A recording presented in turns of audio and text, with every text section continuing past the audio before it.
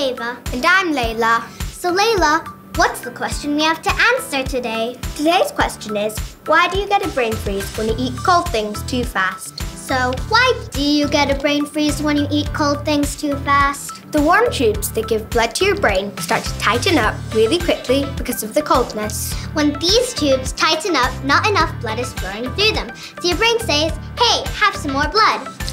This causes these tubes to get really big, really quickly, but it also tells other parts of your brain that this is supposed to hurt.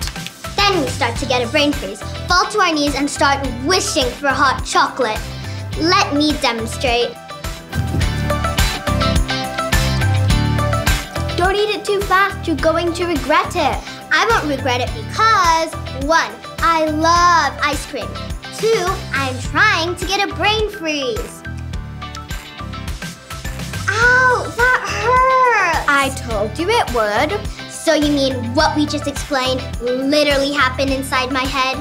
Yep. I thought it wouldn't. I was just pretending. Oh, Ava. Oh well. Thanks for watching. I hope you learned something.